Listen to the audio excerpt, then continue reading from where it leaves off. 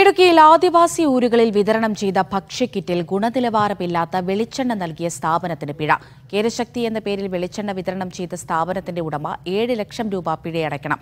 വെളിച്ചെണ്ണ ഉപയോഗിച്ചവർക്ക് ദേഹാസ്വാസ്ഥ്യം അനുഭവപ്പെട്ടിരുന്നു. സിജോ വർഗീസ് ഉണ്ട വിവരങ്ങൾ നൽകാനായി സിജോ ഇതെന്താണ് സംഭവം?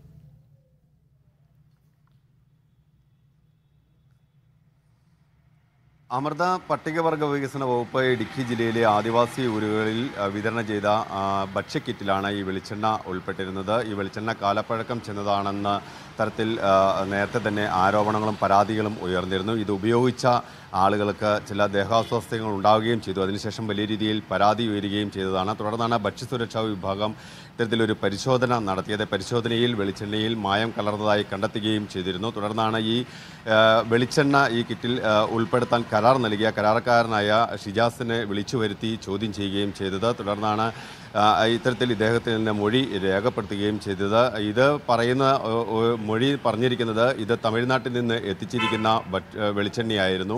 അത് ഇവിടെ പാക്ക് ചെയ്ത് വിതരണം ചെയ്യുക മാത്രമാണ് താൻ ചെയ്തത് എന്നുള്ള ഒരു വിശദീകരണമാണ് ഈ കരാറുകാരൻ നൽകിയിരുന്നത്. ഇദ്ദേഹം തുടർന്ന് നടത്തിയ പരിശോധനയിൽ ഇദ്ദേഹത്തിന്റെ സ്ഥാപനത്തിന് മതിയായ ലൈസൻസ് ഇല്ല എന്നും കണ്ടെത്തിയിരുന്നു. ഒപ്പം തന്നെ ഈ ബ്രാൻഡ് മിസ്യൂസ് ചെയ്തു എന്നുള്ള തരത്തിലുള്ള കണ്ടെത്തലുകളും നടത്തിയിട്ടുണ്ട്. എന്തായാലും ഇതുമായി ബന്ധപ്പെട്ടാണ് ഇപ്പോൾ ഇടുക്കി സബ് കളക്ടറുടെ നടപടി വന്നിരിക്കുന്നത്. ഏഴ് ലക്ഷം രൂപ പിഴയായി ഒടുക്കണം. ഒപ്പം തന്നെ മറ്റ് ചില നടപടിക്രമങ്ങളും ഏർപ്പെടുത്തിയിട്ടുണ്ട്. ഇത് പിഴ ഒടുക്കിയില്ലെങ്കിൽ റവന്യൂ റിക്കവറി അടക്കമുള്ള നടപടികളിലേക്ക് കടക്കാനും നിർദ്ദേശം നൽകിയിട്ടുണ്ട്. എന്തായാലും ഇതുമായി ബന്ധപ്പെട്ട് വലിയ രീതിയിലുള്ള ഒരു പ്രതിഷേധം ആദിവാസി വിഭാഗങ്ങൾക്കിടയിൽ നിന്ന് ഉണ്ടാവുകയും ചെയ്തിട്ടുണ്ടായിരുന്നു. അതിനെ തുടർന്നാണ് ഇത്തരത്തിൽ ഭക്ഷ്യസുരക്ഷാ വകുപ്പ് പരിശോധന നടത്തുകയും തുടർന്ന് സർക്കാരുടെ ഭാഗത്ത് നിന്ന് ഇത്തരത്തിലൊരു നടപടി ഉണ്ടാകുകയും ചെയ്തിരിക്കുന്നത്.